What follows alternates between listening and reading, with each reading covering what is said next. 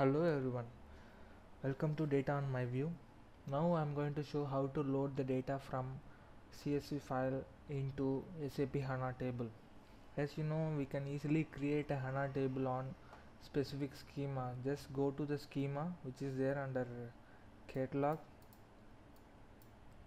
So under catalog you can see different schema. So just go to your schema and right click and you can see new table. So by going to new table option you can create your table with structure. So structure in the sense uh, the different columns and uh, respective data types.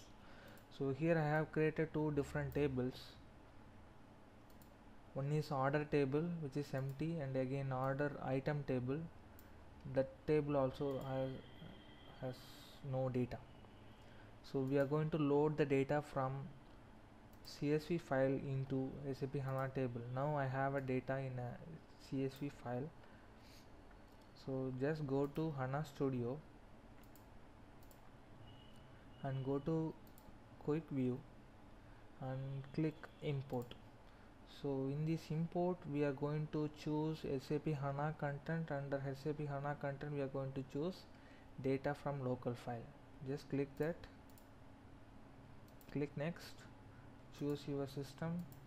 Next here we are going to specify our source file. So just go to browse and click your file.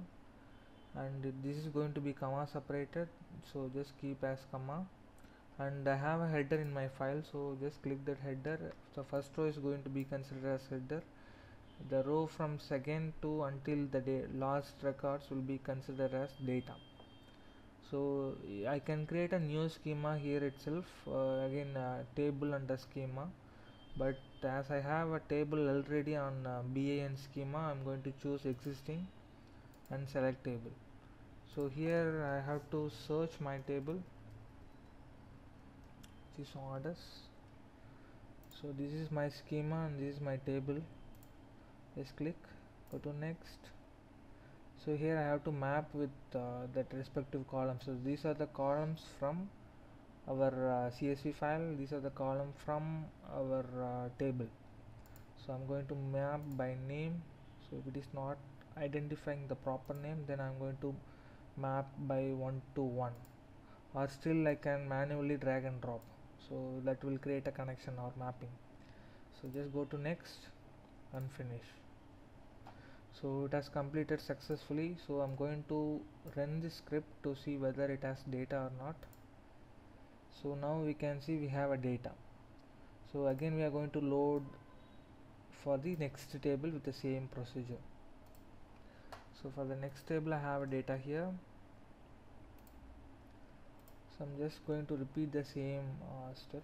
Just go to view import data from local file SDB system orders and header is there. Existing table order items.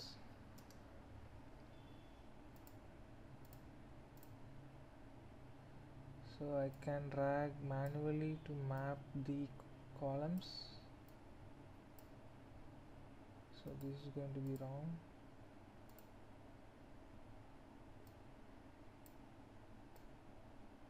So just map with the correct fields. Quantity quantity amount amount. Go to next. Click finish. So this has completed. I'm going to execute the script to see the data. So now we got the data. Thank you